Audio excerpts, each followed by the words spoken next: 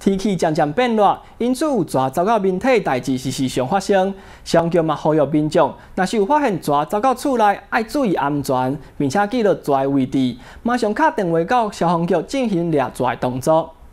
热天特别到啊，蛇走入去面体事件嘛渐渐变多啊。民众确实有发现蛇走入去厝内面，要小心安全，记下蛇的位置，而且马上打电话到消防局来进行捕猎。现在啊，现在五月了哈，那天气渐渐已经炎热，那目前哈呃捉蛇的一个勤务会会增加。那民众如果说遇到这个有呃蛇啊出没在我们家的附近的话哈，那也不要惊慌哈，那记得要记住啊蛇的一个位置，那赶快赶紧通知我们一一九，那我们会尽速派员来协助。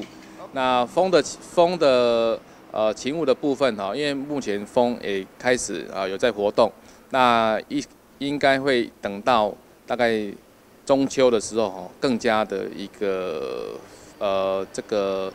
活动就比较强啊。如果有遇到这个像虎头蜂之类的话，民众啊尽量不要去惊扰它哦啊。如果说有觉得有危险的一个啊这个状态的话，也可以通知我们一九啊来协助。